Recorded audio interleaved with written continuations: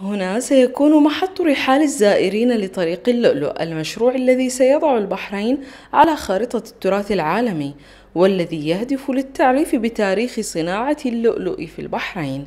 هو طبعا آه، مشروع اللؤلؤ يعني الشيخة مي الله يحفظها يعني هي الرائدة في هذا المشروع. آه، فكان هذه يعني نوع من التأصيل حق اللؤلؤ نفسه الموجود في البحرين. فكان الطريق كان يبتدي من آه، اللي هو حالة بماهر القلعة قلعة حالة بماهر زين آه، مشيا على الأقدام إلى مسجد سيادي. هذه كلها هذه تعتبر طريق اللؤلؤ. آه، السوق بياخذ له يعني جزء كبير من طريق اللؤلؤ.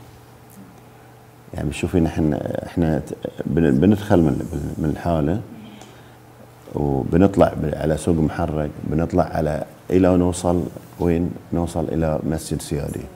فكل هذه الطريق يعني آه، بيتغير.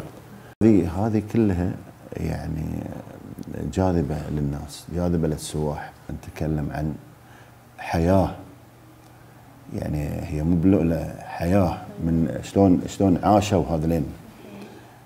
يعني شلون عاشوا الغواص شلون عاش حياته شلون. في مشروع كبير إن شاء الله بيصير نموذجي تراثي بيصير في الفرجان عندنا فرجان أربعة فرجان قديمة نبي نغير الطابع اللي فيها. نغير يعني نرجع, نرجع الأهالي اللي طلعت من محرق نرجعهم إلى محرق فجلالة الملك يعني مصر على على المشروع.